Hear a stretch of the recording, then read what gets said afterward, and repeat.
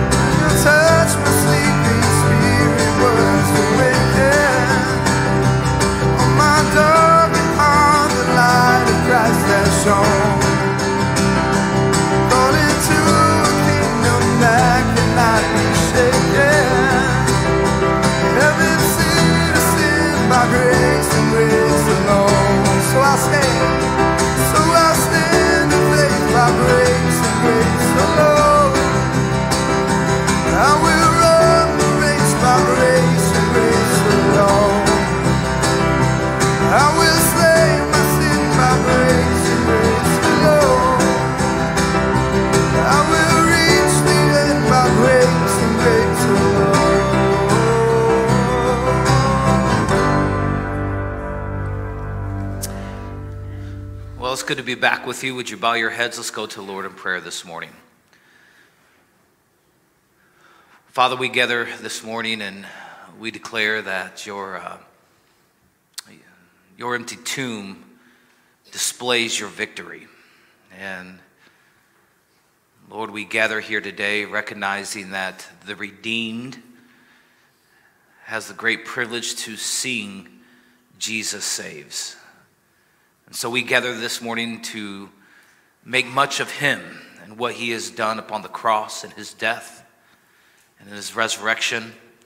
Lord, we can gather recognizing that in your grace we are debtors and that all we can do is proclaim the name of Jesus Christ.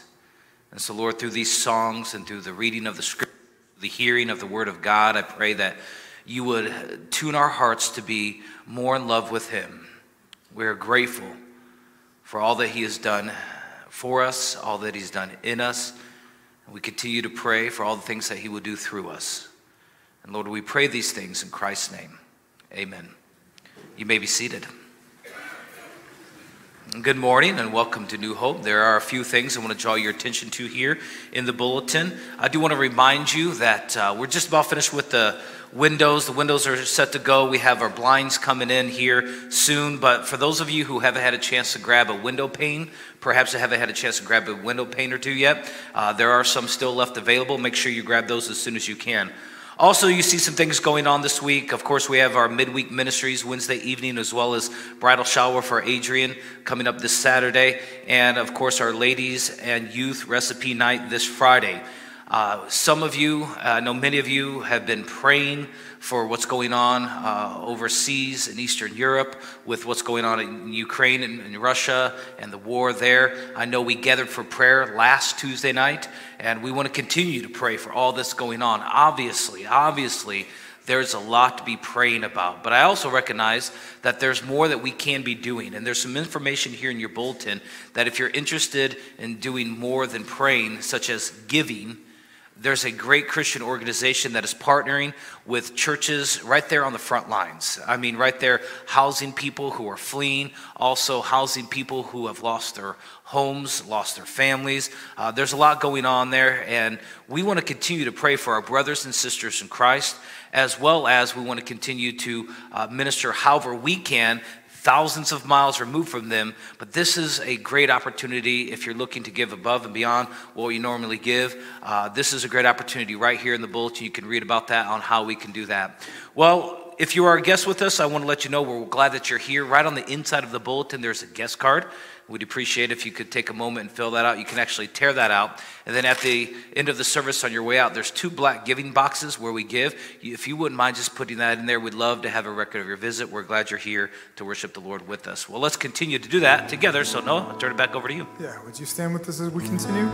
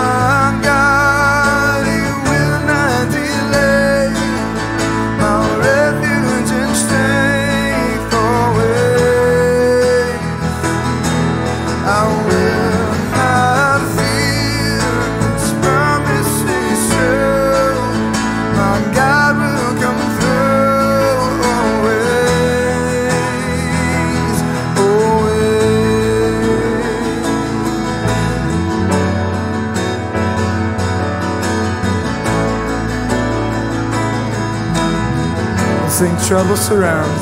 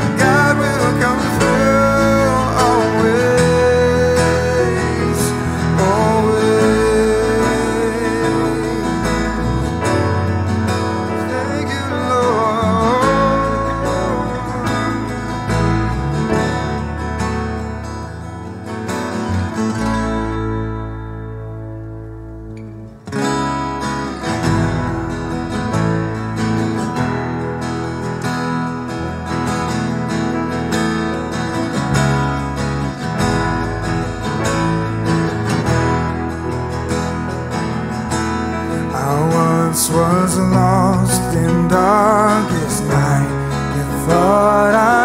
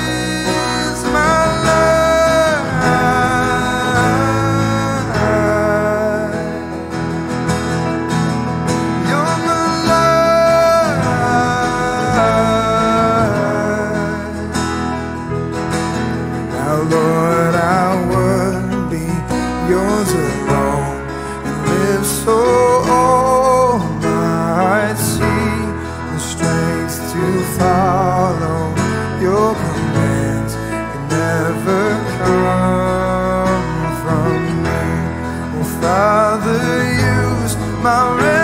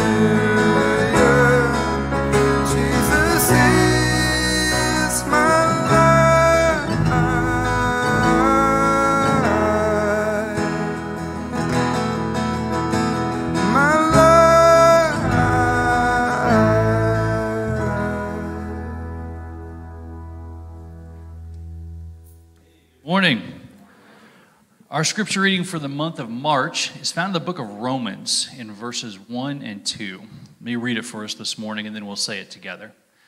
Therefore, since we have been justified by faith, we have peace with God through our Lord Jesus Christ. Through him we have also obtained access by faith into this grace in which we stand, and we rejoice in the hope of the glory of God. Let's say it together. Therefore, since we have been justified by faith, we have peace with God through our Lord Jesus Christ. Through him, we have also obtained access by faith into this grace in which we stand, and we rejoice in hope of the glory of God. Let's go to the Lord in prayer. Father, it's always good to be reminded of what you have done for us, Lord. That you have called us from being mired in sin, that you have cleansed us through the blood of your Son, God, and you have called us uh, to a relationship with you and to serve you. And so, Lord, we just thank you for your grace. We thank you for your mercy, God. We pray that you would help us to live um, just with that knowledge that we will continue to be forgiving of others, that we will continue to, to just be so aware of the grace that we live in, Lord, that we can offer grace to others. So this morning, God, as Pastor Mike comes up here, Lord, I pray that you would open your word to us, that you would use him to teach us and, uh, and change our hearts to become more like your son. So again, we just offer this day to you. We thank you. In Jesus' name we pray. Amen.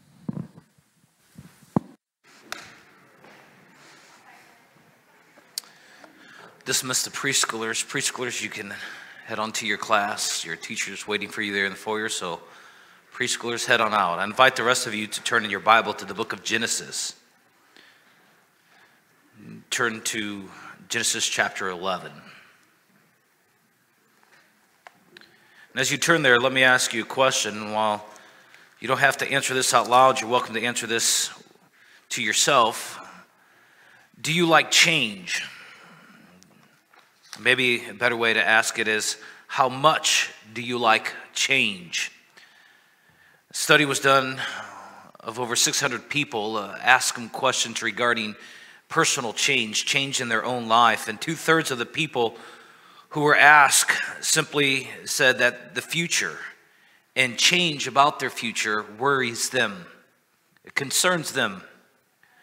One third of the people said that they would not continue if things changed, if they didn't see success in what they were doing. I found that interesting. It has a lot to say about perseverance and endurance, but simply said, one third of the people said that if there was a change, they would only continue if they saw success. Well, 40% of the people said that if there was change in their life and it didn't go well, they didn't believe they could accept failure. 40% said they could not accept failure.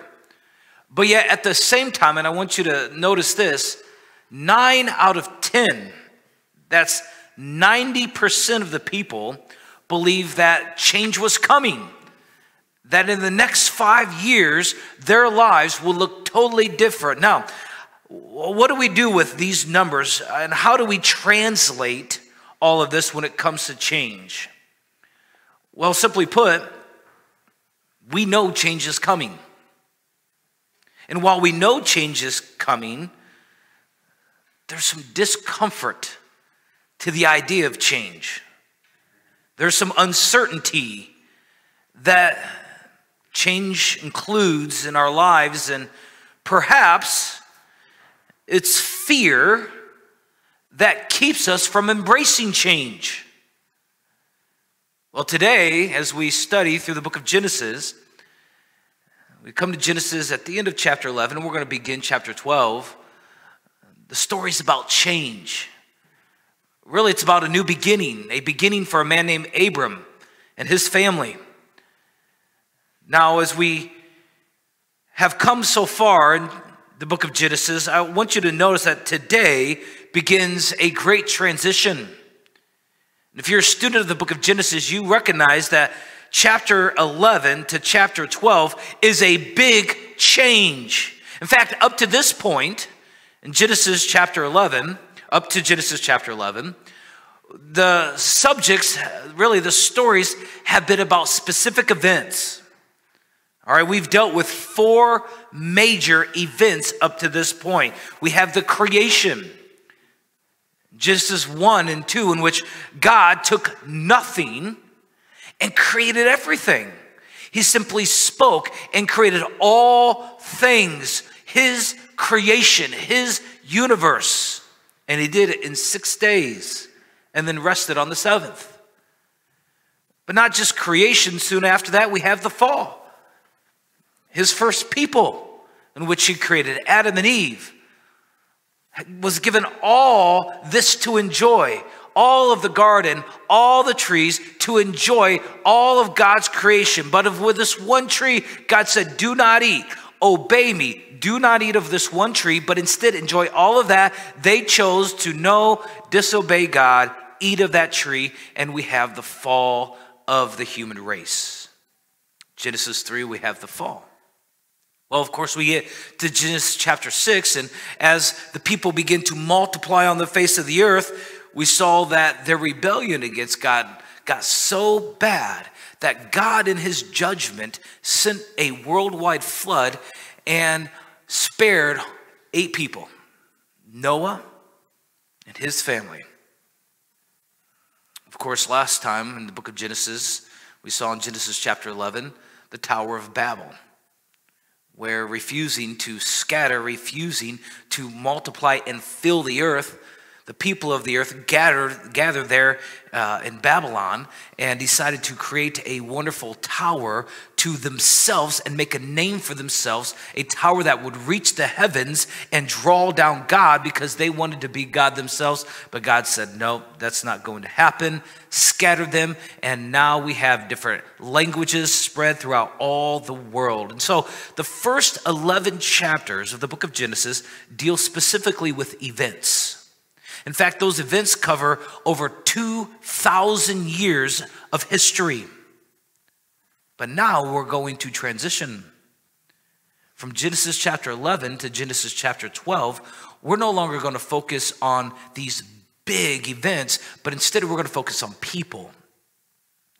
In fact, instead of the four events in the first 11 chapters, we're going to focus on four specific people Abraham, in chapters 12 all the way to chapters 50, we, we see Abraham and his son Isaac. Isaac's son, Jacob, and uh, Jacob's son, Joseph. Now, this next 39 chapters are only going to deal with about 350 years. And so the first 11 chapters, 2,000 years, and these huge worldwide events, now, these next 39 chapters, just 350 years, for specific people on about how God is going to build a nation. So let's begin in chapter 11, all the way at the end of chapter 11. Jump down to verse 37, excuse me, 27. It begins with a man named Terah. It says in verse 27 that these are the generations of Terah. Terah fathered Abram, Nahor, and Haran. And Haran fathered Lot. Well, Haran died in the presence of his father, Terah, in the land of his kindred in Ur of the Chaldeans. And Abram and Nahor took wives. And the name of Abram's wife was Sarai. And the name of Nahor's wife, Milcah, and the daughter, excuse me, the daughter of Haran, the father of Milcah and Iscah. Now Sarah was barren she had no children. Verse 31. So Terah took Abram, his son, Lot the son of uh, Haran, his grandson, and Sarai his daughter in law, his son Abraham, Abram's wife, and they went forth together from Ur of the Chaldeans to go into the land of Canaan. But when they came to Haran, they settled there.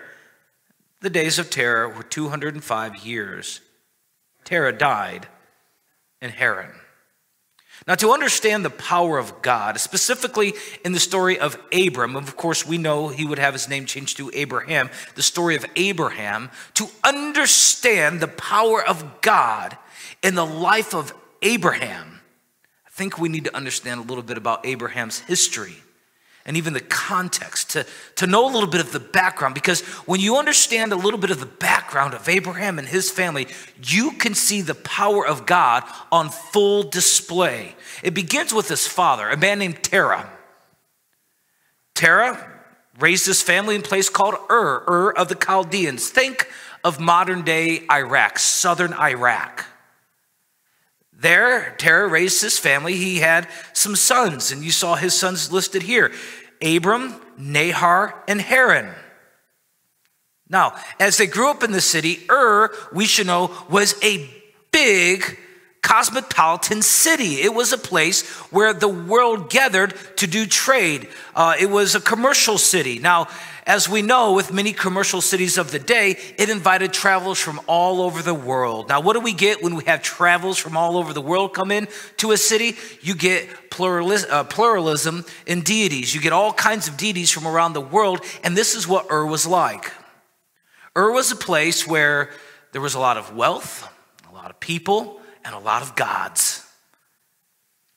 Now, with that, we should know that the book of Joshua says something very important about Terah and his family. In Joshua chapter 24, you don't have to turn there, but let me just tell you what Joshua said. Right before Israel is going to take hold of the promised land, in his last address to the people of Israel, Joshua looks at them and he recalls Israel's history. It's a special moment. He recalls how God has brought him this far and now where he's going to take them. But in this recollection, in this time of just reminding them about where they've come from, he says something important about Terah and his family. And he simply says this He recalls to the people of God, uh, he says that Terah and Abraham in Ur worshiped the pagan gods. It's an interesting point. It's just one simple sentence, but here's the point that Joshua is making. Before God called Abram out of the land of Ur, out with his family to go to the land in which he will show him, Abram, Terah, and the whole family were worshipers of pagan gods. In fact, there's nothing that we would know of of they had ever even heard the story of the flood or the Tower of Babel. I, we don't know. All we know is they worshiped the pagan gods. And this is what went on in the land of Ur. Now it says here that Terah had these three sons, and we see that these three sons, Abram, Nahor, and Haran, it says that uh, down in verse 29, Abram and Nahor took wives. The name of Abram's wife was Sarai. Of course, we see in verse 30 that she was a barren woman. Course, you know the story of Sarai, whose name was later changed to Sarah, that she couldn't have children. She couldn't have children. Now, what's interesting is the name Abraham, which of course means exalted, father, is married to a woman who can't have children. So Abram takes a wife, Sarai, it says, Nahor takes a wife, Milcah. And while that's not important now, it will be when it comes to uh, finding a wife for Isaac. But I want you to notice that there was another brother too. The other brother, Haran. What do we know about Haran? Well, we know a couple things, really two specific things. Haran fathered Lot. That's what it says here in verse 27. Haran was the father of Lot. But we see in the very next verse that Haran died in the presence of his father Terah in the land of Ur, of the Chaldeans. Why these details given to us before we get to chapter 12? Mentioned in really the genealogy, if you will, of Terah. Why these specific details? And why am I spending so much time on this?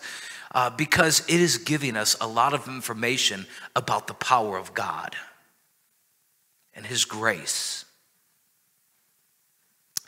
I want you to notice that Abram came from a family that worshiped pagan gods.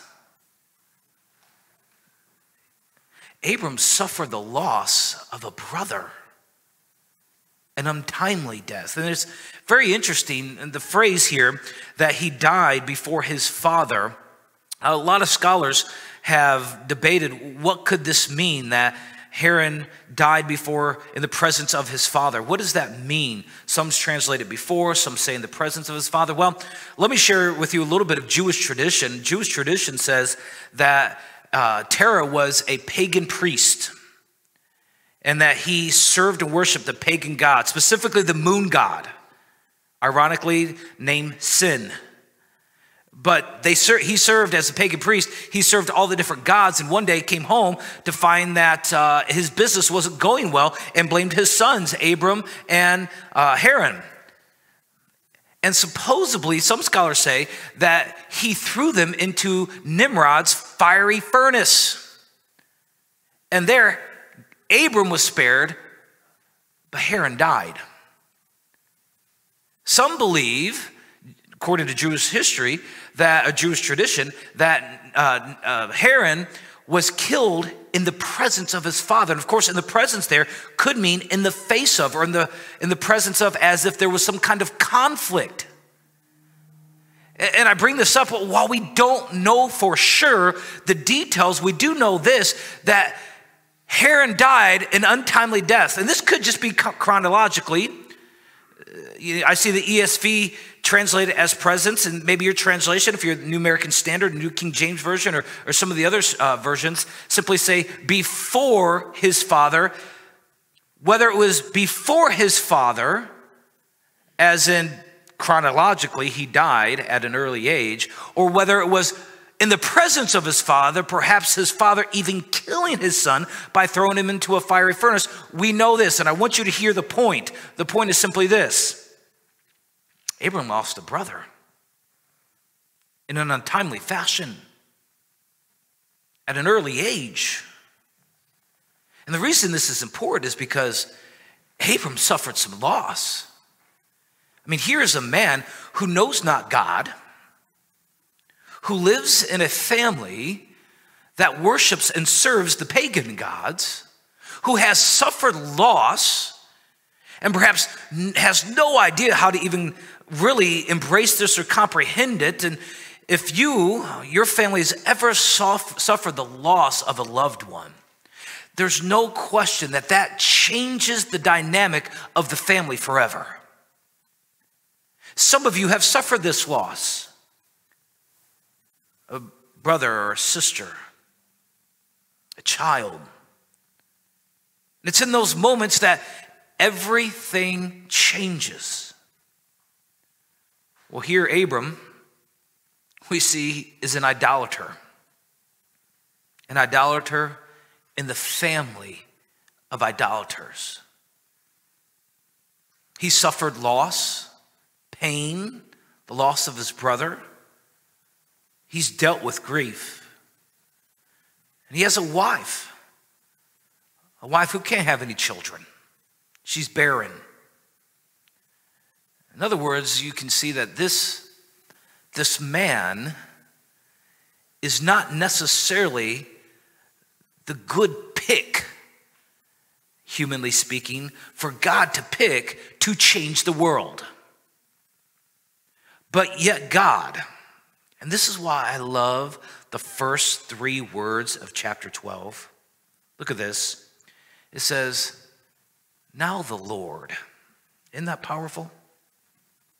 So here you have this pagan who serves all kinds of gods, who has suffered great loss in his family, and his life is just it's just existing, and it's not existing for the right purposes or reasons. He's married, but he can have no children. Of course, in this culture, what that means is your legacy ends with you. There's really nothing going on other than serving some pagan gods and making some money off them. And then all of a sudden, verse uh, chapter 12, verse 1 says, Now the Lord. How easily we can read over uh, chapter 11 and get to chapter 12 and just say, oh, well, now the Lord. But I want you to see, now the Lord. Now the Lord. I think it's important for us to recognize that, yes, yes, our family influences us. Doesn't it? Our family influences us both for the good and for the bad. Our family influences us. But I want you to know, please know, that your family history, like Abram here, your family history can suck you in and pull you down, or it can be a motivational, uh, a, really a chance for motivation, but a motivational tool for foundational change in which you can use to the glory of God. And so we're not here to deny how our family does influence us. But the question for you and I will be for the both good and the bad of our family history is will it suck us down and destroy our lives? Will it pull us down and hold us down? Or will it be motivation for foundational change to the glory of God? Because we can all make excuses. God is about to call Abram to a incredible new beginning. And there's no question in my mind that Abram could have had a lot of excuses about why he couldn't or why he shouldn't. He's got family in this land. This is what he knows. This is who he is. And it says here, now the Lord.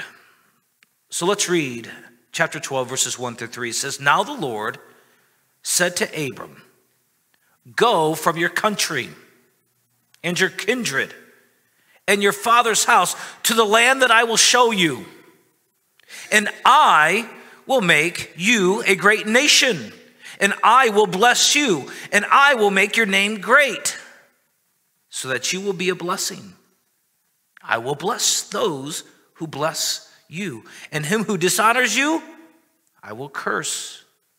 And in you, all the families of the earth shall be blessed. Now, this is the beginning of what in a couple chapters will be confirmed as the Abrahamic covenant.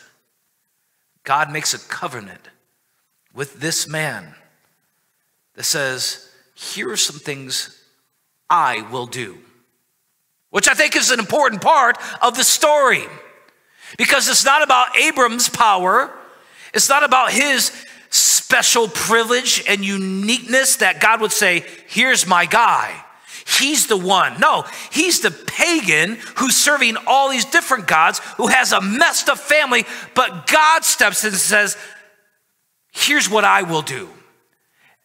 And in fact, I would encourage you to take a little pen and underline all the times in those three verses, at least five times, God says, I will. Because it's not about the power and genius of Abraham, Abram, but it's about the power and genius of God. And he looks at Abram and says, Here's some things I will do. I will bring you to a land. I will make your name great. I will bless the nations because of you. I will bless those who bless you, and I will curse those who curse you. So, this pagan idolater who can have no children, God says, Yes, you will be an exalted father. You will have many children, and I will make your name great. And through you, all the world will be blessed. And I'm going to give you this land. This land will be yours. God says, I will do that. God's call is in his grace. He calls Abraham because of grace. It's grace. Not because he's privileged or deserved, because God is just gracious. And I find it incredibly awesome that it's Abram's disqualifications.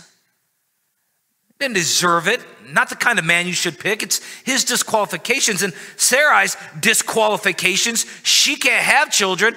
That God uses their disqualifications as his tools for his purpose. It's, it's the fact that they can't do it, that God steps in and says, I will do it. He steps in and says, I will do these things. And I see too many believers many times thinking that their inabilities, focusing in on their failures, thinking that I can't do it. I'm too broken. My, my life's too much of a mess.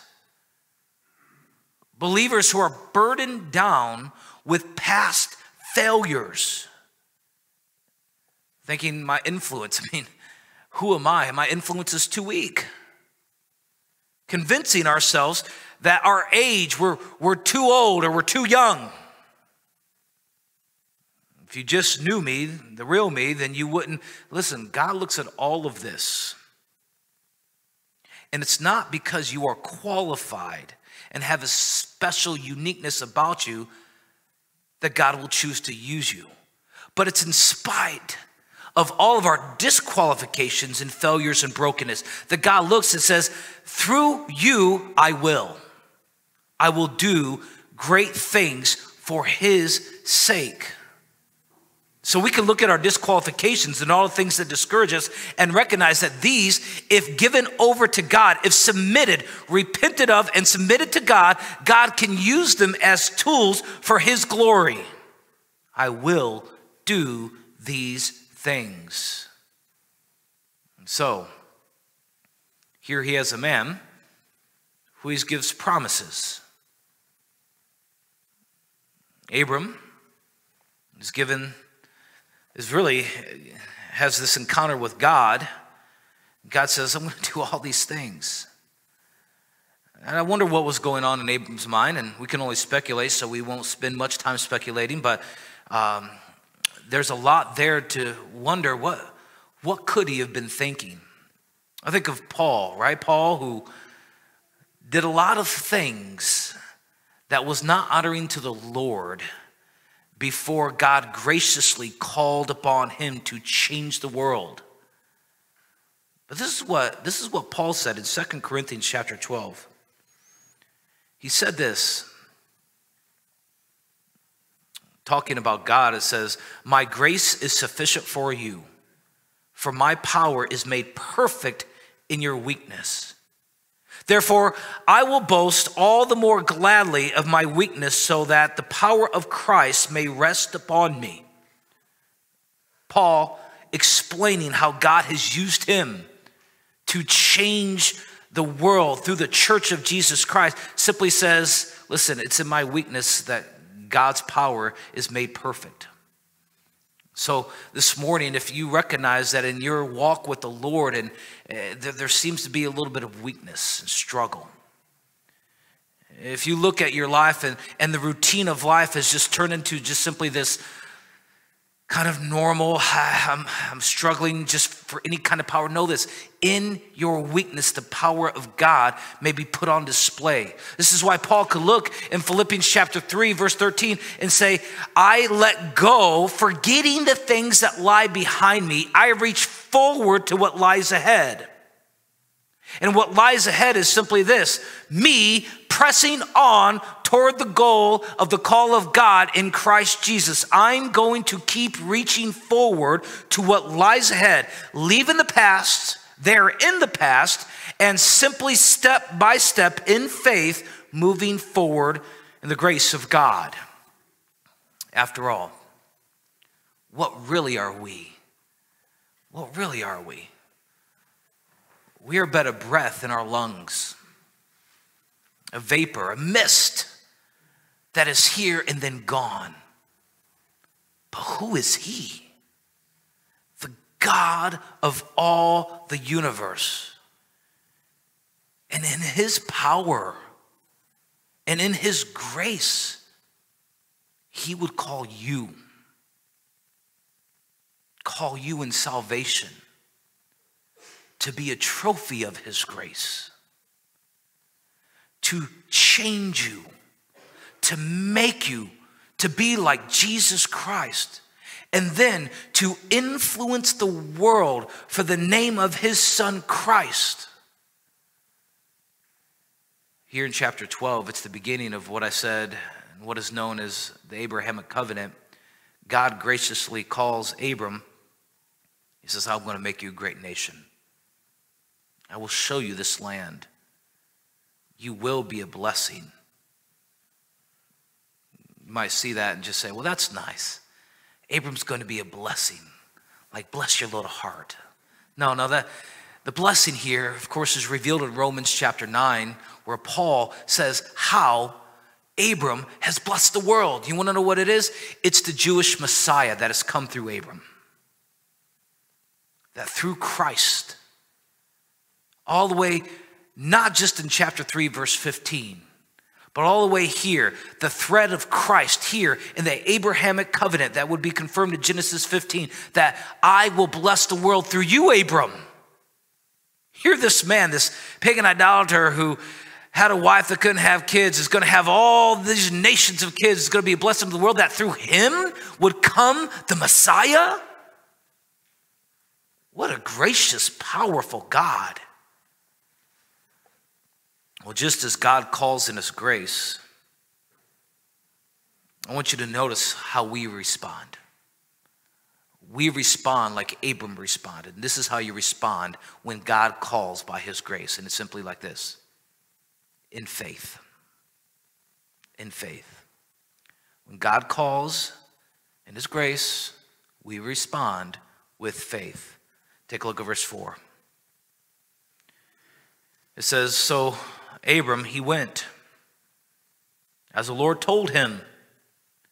And Lot went with him. And by the way, if you ever wondered why Lot's always kind of hanging around with Abram and Abraham as he moves across land, it's because he has no father. Abram seems to have taken on Lot as a child of his own. So we're going to see Lot involved in a lot of stories because Haran, his father, had died. And so he takes, Abram takes Lot with him. And it says here Abram was 75 years old when he departed from Haran. Okay, so he was in Ur, now he's in Haran. Now, if you have this little map in your Bible, maybe at the front, or if you have a study Bible, it might be right there on uh, the page where chapter 12 is mentioned. Um, you see that southern Iraq, the Ur of the Chaldeans, that they travel up to the city called Haran. Now, again, true, Jewish tradition says that the land Haran there, that Terah named that land after his son. But they went up the Euphrates River. You might look at your map and wonder, why didn't they just go straight west? Why don't you just go to the land of Canaan? Why would you start in Ur, go way up here to Haran, and come all the way down here to the land of Canaan? And the, the, the answer is simple that with the multitude of people that they were bringing, you can't just cut through the desert. They had to follow the river. And they go to this land of Haran where they seemingly stayed for a while. In fact, the book of Acts, when Stephen is once again recalling the history of Israel to the people of Israel, in Acts chapter 7, what Stephen does is he reminds them that it was the land of Haran where Terah dies, and then Abraham continues the call of God. So perhaps after being there several years, God either reminds or perhaps calls again Abram. But I want you to notice that it's by his faith that Abram responds and he goes from the land of Haran. Verse 5 says So Abram took Sarah, his, Sarai, his wife, and Lot, his brother's son, and all their possessions that they had gathered, and the people that they had acquired in Haran and they set out to go to the land of Canaan. When they came to the land of Canaan, Abram passed through the land of the place of Shechem, at Shechem, to the oak of Moreh. At that time, the Canaanites were in the land. Then the Lord appeared to Abram and said, To your offspring I will give this land. So he built there an altar to the Lord who had appeared to him. And from there he moved to the hill country on the east of Bethel and pitched his tent, with Bethel on the west and Ai on the east. And there he built an altar to the Lord and called upon the name of the Lord. So Abram, he journeyed on, still going toward the Negeb, or maybe your translation says the south, there in the land of Canaan. Hebrews chapter 11, they attest all of this to the faith of Abraham. It says, by faith. God called by his grace, Abraham responded with faith. It says, by faith, Abram obeyed when he was called to go out to a place that he was to receive as an inheritance. And so he went out, not knowing where he was going. And this is the call of God. I mean, if you think about this, this is, this is uh, pretty incredible that God said, Go to a place in which I will show you. So it wasn't like, hey, I want you to go to this place. I have something waiting for you. He just said, I want you to leave. Begin going to a place. Well, God, where am I going? Uh, I will show you, but right now I need you to go. And Abraham's response was, okay. By faith he went. It says, by faith he went to, the, to live in the land of promise as in a foreign land living in tents with Isaac and Jacob, heirs with him of the same promise, the promise of God. For he was looking forward to the city that has foundations, whose designer and builder is God. So by faith, what did Abraham Abram do? He went. A new beginning. All of his life at this moment would be forever changed. And it wasn't like he could just jump in, jump in his car and head back to if things didn't go well. He didn't. He couldn't just go online and buy a plane ticket and say, "Well, I'll, I'll just head back home." He, by faith, took a step, then took another step, and he headed to a land in which God will show him. And then when they got there, God said, "Now look, look at this land. This land is the land I promised to give you." And your descendants. Believers, there's no question about it that as we look upon God's call in our life, if He has saved you, if you have turned from your sins and placed your faith in Christ, God has called you to a new beginning in Him. What that means is you are born again, saved by His grace, and our only response is to live by faith. In fact, the book of Hebrews says it's without faith, it's impossible to please God. So if you're you're looking with the desire to please God, know this, it requires faith. It requires faith. Second Corinthians chapter 5, verse 7 says, We walk by faith, not by sight. Thus is the motto of the believer. Doesn't make sense to the world, but we know that we have a God who has saved us, and by his grace, we now simply walk by faith. We believe upon him. It means for some, that's huge, life changing moments where you stake a flag into the ground and say, At this moment, by faith, I will no longer head this way. I'm starting a new beginning.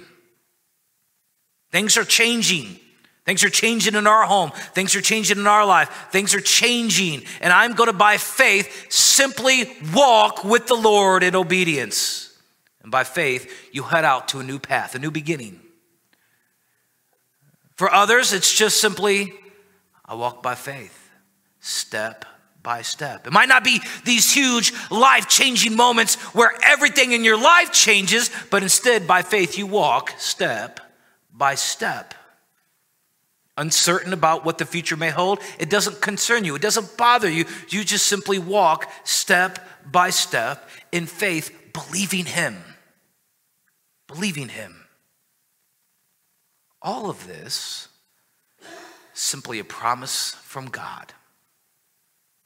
Promise from God. And I know we can sing about the promises of God. We talk about the promise of God.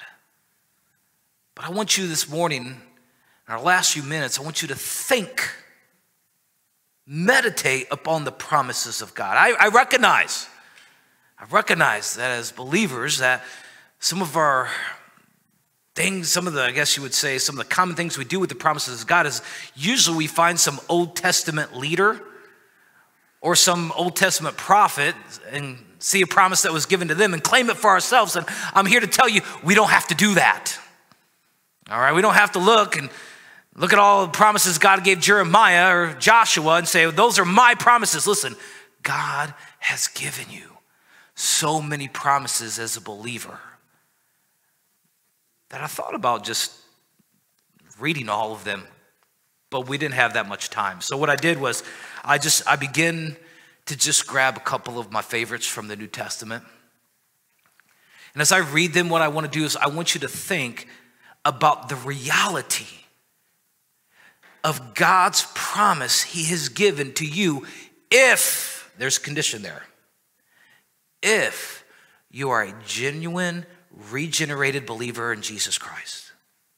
Right, if you've, you've never come to faith in Him, these promises do not apply to you. But if you are His, I want you to hear them and recognize that these are a reality in your life. Matthew chapter 11 says, Come to me, all of you who are labor, all of you who labor and who are heavy laden, and I will give you rest. Take my yoke upon you and learn from me, for I am gentle and lowly in heart, and you will find rest for your souls. My yoke is easy and my burden is light. Matthew chapter 28, of course, we know this is the Great Commission. It says, Go therefore and make disciples of all nations, baptizing them in the name of the Father, Son, and Holy Spirit, teaching them to observe all the things in which I've commanded you. And then he simply says this, And behold, I am with you always, even to the end of age. So, as a believer, know this from now and forever the Lord is with you. And He will never be farther away. And even in moments of doubt, perhaps even fear, or when it seems like, God, where have you gone? You can know that I am with you always, even to the end of age. James chapter 1, verse 5. It's been one of my favorites since I was young. He says, If any of you lacks wisdom, sometimes when you're young, as a young man, you can lack some wisdom. He says this If any of you lacks wisdom, let him ask God. Look at this problem. Look at this problem, promise. Let him ask God, who gives generously to all without reproach, and it will be given him. This is an incredible promise of God. You want wisdom? God says, simply ask. Ask and he'll give. Philippians chapter 4 do not be anxious about anything, but in everything, by prayer and supplication, with thanksgiving, let your request be made known to God. Here's the promise. And the peace of God, which surpasses all understanding, will guard your hearts and your minds in Christ Jesus. Do you understand what God just said?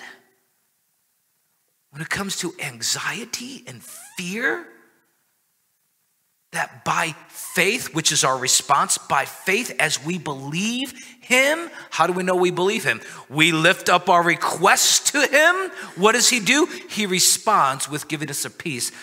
Doesn't make sense. It surpasses all understanding. And then what does He do? He guards our hearts and our minds. 2 Corinthians chapter 1. Blessed be the God and Father of our Lord Jesus Christ, the Father of mercies and the God of all comfort who comforts us in our affliction. Another wonderful promise of God that in your affliction, God comforts. Why? Because He's the God of all comfort. So that we may be able to comfort those who are in any affliction with the comfort which we ourselves are comforted by God. Here's the, here's the promise God gives. If you're in affliction, go to Him. He promises the comfort. Romans chapter 8, we know that for those who love God, all things work together for good to those who are called according to his purpose. That we can look at every detail of our life and know that God's working in those details for what? For our good. To make us more like Christ. Maybe not how we wanted them to work out, but for our good before. Philippians 1, verse 6 I'm sure of this, that he who began a good work in you will bring it to completion at the day of Jesus Christ. That once God starts working in a heart, he doesn't stop. And then once he's worked and saved you, that you're not going to walk away and lose it all and mess it all up, that he's going to continue to work and work on and work and eventually bring it to completion. Glorification. James chapter 4, listen to this promise submit yourselves therefore to God Resist the devil, and he will flee from you. But draw near to God, and he will draw near to you. You don't have to spend so much time worrying about the devil. Just flee him and draw near to God. If you'll draw near to God, here's God's promise He will draw near to you. So if you feel far off from God, if you wonder perhaps where He's been or what's going on or His thoughts about you, know this draw near to Him and his promises, he will draw near to you. First John chapter 1 if you confess your sins he is faithful and just to forgive you your sins and cleanse you from all unrighteousness. Perhaps one of the verses that requires some of the most faith. That in my sins I can confess them and he actually forgives me and cleanses me. And we'll close with this John chapter 3 verse 16 for God so loved the world that he gave his only son, that whoever believes in him, here's the promise, shall not perish, but have everlasting life. Have everlasting life. The promises of God are to be received by faith. Believers, trust them, embrace them, think steadily upon them. So much of our minds can be conformed to this world in the pattern ways of thinking.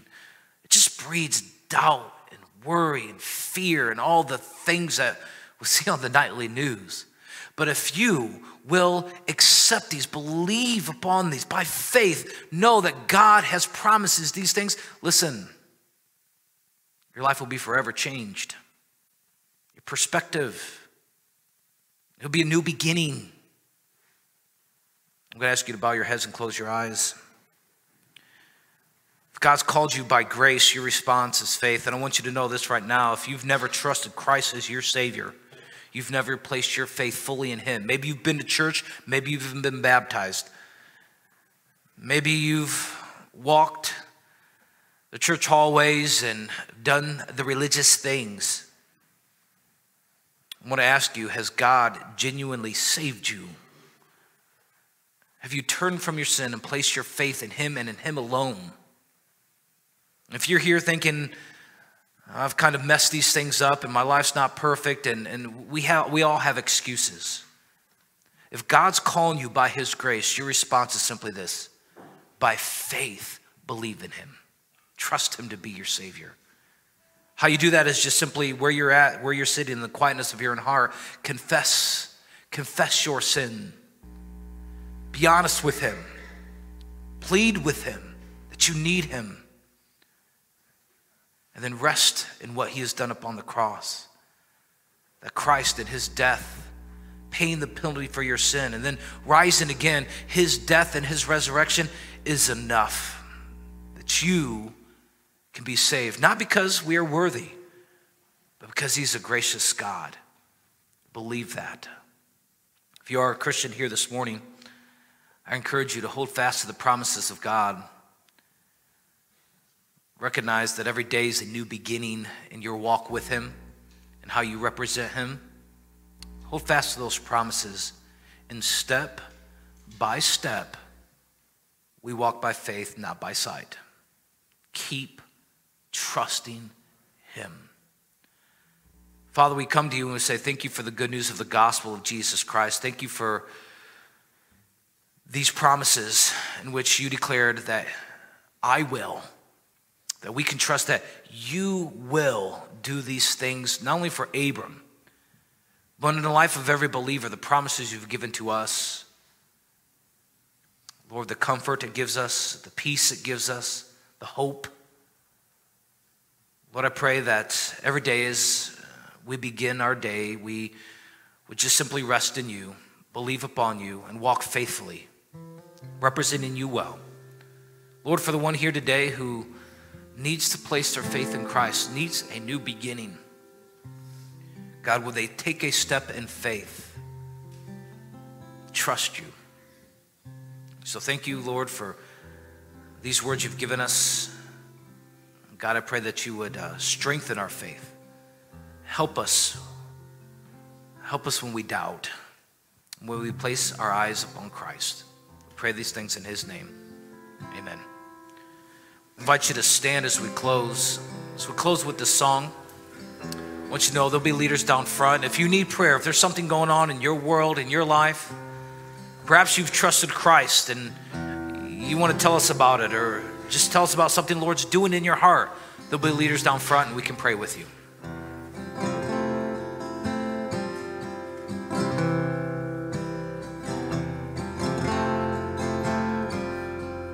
When I my faith will fail, will hold me fast.